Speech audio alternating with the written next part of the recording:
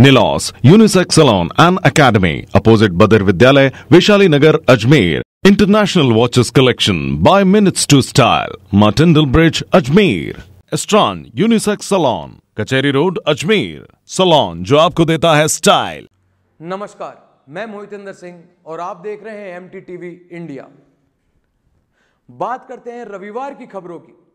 रविवार को रामगंज थाने तीन मामले आए। जिसमें पहली घटना तीन बारह दो हज़ार उन्नीस की है, जहाँ कंचन नगर में रहने वाली चंचल नाम की एक महिला की जहरीला पदार्थ खाने की वजह से मृत्यु हो गई थी। महिला के परिजनों ने महिला के ससुराल पक्ष पर महिला को जबरन जहरीला पदार्थ खिलाने और परेशान करने का आरोप लगाया है।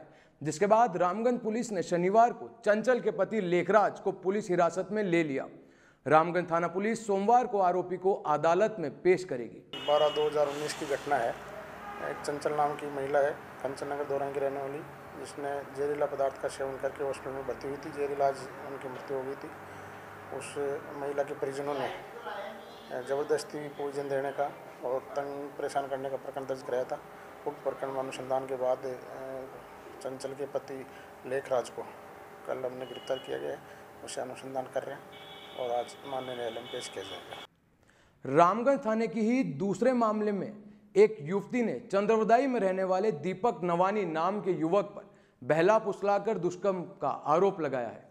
यह घटना एक साल पुरानी है, जिसमें युवती ने आरोपी दीपक पर आरोप लगाया है कि उसे बहला फुसलाकर पुष्कर के एक होटल में ले गया था, जहाँ दीपक ने उसके साथ दुष्कर्म भी किया। फ़िलहाल पुलिस ने मुकदमा दर्ज कर कार्रवाई शुरू कर दी है। एक लड़की ने दुष्कर्म का प्रकरण दर्ज कराया है। दीपक नवानी नाम का लड़का है, जो चंद्रोदय नगर का रहने वाला है। वो बेला पुछलाकर उसको करीब साल भर पहले की घटना बताई पुष्कर लेके गया और वहाँ होटल में उसके साथ दुष्कर्म किया।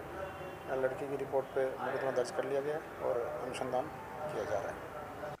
वहीं अजमेर ज़िले के बड़गांव से भी दुष्कर्म का मामला सामने आया है, जिसमें महिला ने राजेश कतीरिया नाम के व्यक्ति पर दुष्कर्म का आरोप लगाया है।